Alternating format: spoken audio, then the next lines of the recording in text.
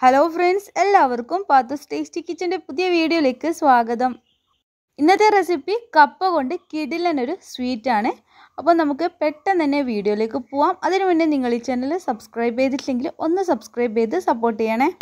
ഇതിന്റെ തൊലി കളഞ്ഞ് നന്നായിട്ട് കഴുകിയതിന് ശേഷം ഇത് ഗ്രേറ്റ് ചെയ്തെടുക്കണം. അപ്പോൾ മുഴുവനും ഞാൻ ഗ്രേറ്റ് ചെയ്തെടുത്തിട്ടുണ്ട്. ഇത് ഏകദേശം ഒരു കപ്പ് ഉണ്ടാവും.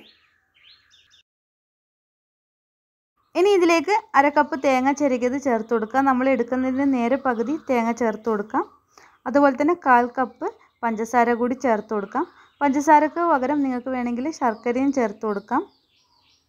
ഒരു ടീസ്പൂൺ നെയ്യ് കൂടി ചേർത്തിട്ട് നന്നായിട്ട് ഇതൊന്ന് മിക്സാക്കിയെടുക്കാം നിങ്ങൾക്ക് വേണമെങ്കിൽ ഈ ടൈമിൽ ഒരു ഏലക്ക പൊടിച്ചത് കൂടി ചേർത്ത് കൊടുക്കാം.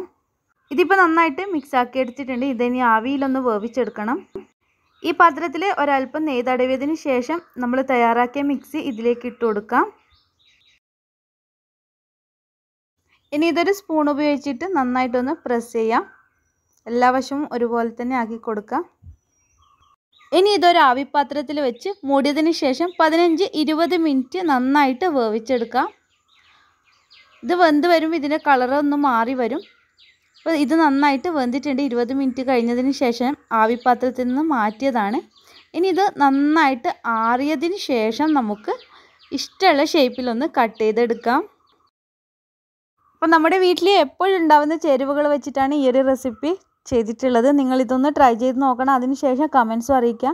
നിങ്ങൾക്ക് ഈ വീഡിയോ ഇഷ്ടമായിട്ടുണ്ടെങ്കിൽ ലൈക്ക് ചെയ്യുക ഷെയർ ചെയ്യുക സബ്സ്ക്രൈബ് ചെയ്യാതെ കാണുന്നതെങ്കിൽ ഒന്ന് സബ്സ്ക്രൈബ് ചെയ്യുക. ഇൻഷാല്ല മറ്റൊരു റെസിപ്പിയുമായി വീണ്ടും കാണാം. അസ്സലാമു അലൈക്കും.